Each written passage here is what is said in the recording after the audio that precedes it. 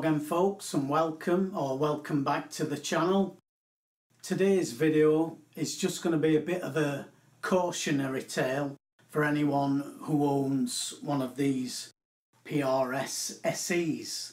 Now this one's an Indonesian model so it's right at the budget end of the PRS range but these are still over £400 to buy new I believe. This is the standard 22. I've had this for a few years and today I'm asking the question what's wrong with my PRS SE?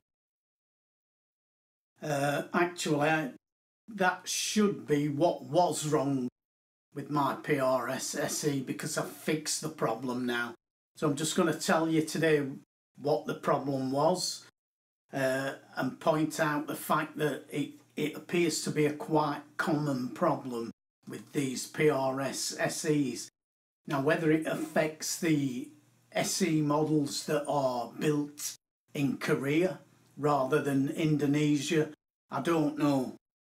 But anyway, if anyone can shed any light on that. So what was the problem with this PRS SE? I, I rarely play this guitar and I picked it up a few weeks ago and I just found it so difficult to play, especially bending strings on it. I couldn't bend the strings very easily at all. It was hard work.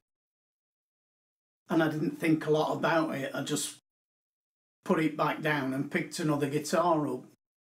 But then I thought, when I thought about it, I thought, well, I'm pretty sure that this guitar wasn't that difficult to play when I first got it. And so I thought I'd better have a look round it. And so I had a look and what I found was the bridge was actually tilting forwards. Not just by a small amount, we weren't talking a, a couple of degrees, but it was almost like a 40 degree angle or something. It was tilting forwards. And so I thought, well, that doesn't look right. That bridge should be flat or more or less flat. I mean, a slight tilt forward is probably all right, but not to the degree that it was tilted forward.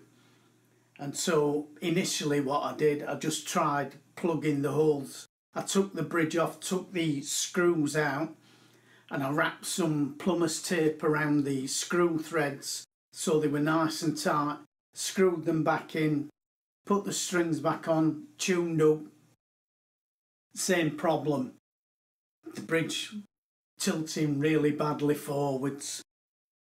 Whether these holes had been drilled incorrectly and they were drilled cockeyed and not straight, or whether it's the wood that's soft and the tension of the strings are pulling that bridge forward, forcing those holes bigger.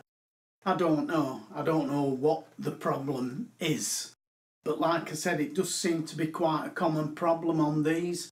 So if you do have one of these Indonesian PRS SEs, you might want to check the bridge on it. If you're thinking about buying one, definitely check that bridge before you part with any cash. Uh, so how I fixed it in the end, I took the bridge back off, I took the screws out, I took the posts out and I re-drilled the holes but I re-drilled them larger and then I bought some hardwood dowel about 15 16 millimeter diameter. So quite thick hardwood dowel. Uh, I got beech but you could use any hardwood oak whatever as long as it's a hardwood.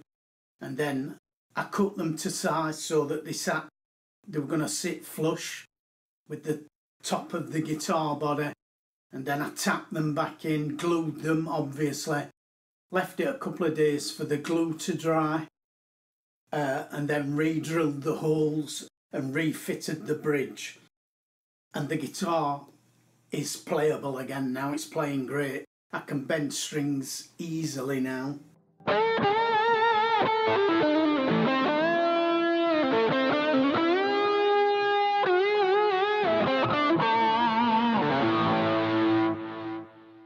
Which is how it should be. So it's gone from a wall hanger back to a playable guitar.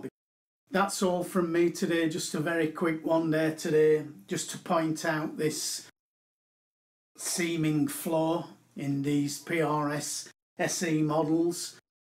Uh, I'll try and get another video up for you next week, but until then, take care, look after yourselves. Thanks for watching.